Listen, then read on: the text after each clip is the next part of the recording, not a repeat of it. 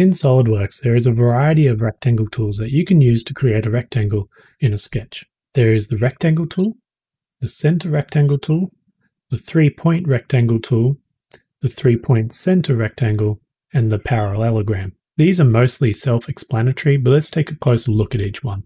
As you can see, I've already created a 2D profile using each of the rectangle tools available, and we're going to recreate this ourselves. We begin by editing the sketch by clicking on the sketch and going to Edit Sketch. There are a few ways you can actually activate the rectangle tool. The first is by going to the feature manager, making sure the sketch tab is activated, and you'll see the rectangle tool. The little arrow next to it, you can click on to drop down, and here you'll see the rectangles available that you can draw.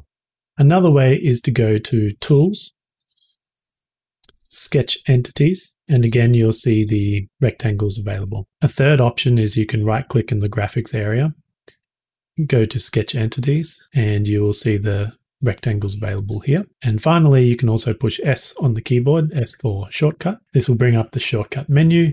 And in here, you'll also see the rectangle tool, which you can click on and select the rectangle you need. So let's start our first rectangle. And we're going to use the corner rectangle by pushing S on the keyboard, which is my preferred way of activating the sketch tools. I'm going to drop this down and pick corner rectangle. Also note here that when the rectangle tool is selected, you still do have the option of changing between the rectangles available. So here you can see the corner. I could switch to a center or a three point rectangle directly from here. So you don't have to actually cancel and then select another rectangle if you pick the wrong one. You can change it once it's activated. You'll also notice there are some extra options available as well. For example, the add construction lines. And I'll just demonstrate this quickly for you using the center rectangle. So here I I have add construction lines and it is going to be from the corner. So when I do a rectangle, you'll see the construction lines are from corner to corner. But if I was to say from midpoint and do a rectangle,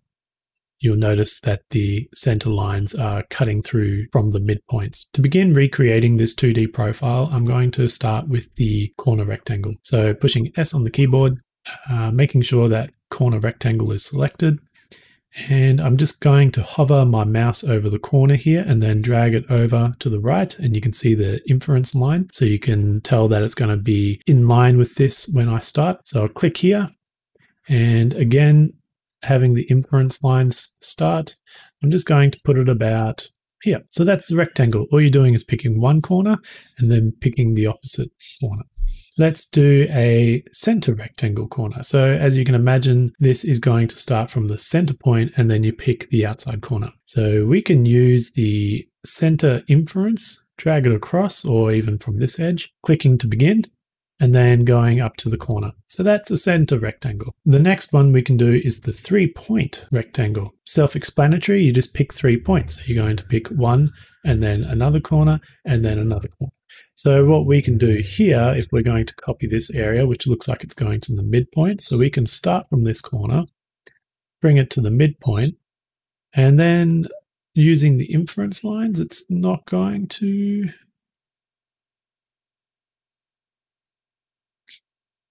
There we go.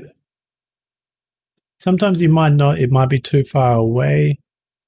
Uh, so just move your mouse around until you can actually see an inference line. That should be close enough.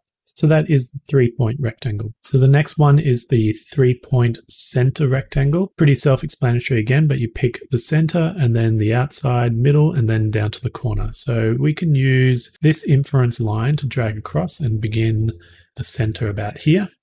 We can then drag it over to the edge of the rectangle and then bring it down to the corner. So that's a three point center rectangle. The last one we look at is the parallelogram. The parallelogram is simply a rectangle that's on a slant. So we can use the inference line over to the side here and dragging it to about, about here. Click to start, drag it down to this point, that's our second point. And then our third point is the opposite corner here. And that is the parallelogram complete. Also, you'll notice that the little tick is available when you complete a command, but you can simply escape to finish the command. So that's the rectangle tool in SOLIDWORKS. It's obviously very handy because instead of using lines to draw four corners, say, for example, instead of drawing a rectangle like this, I can draw it much faster just by using the rectangle and drawing it like this. And this automatically puts in center lines if I want it.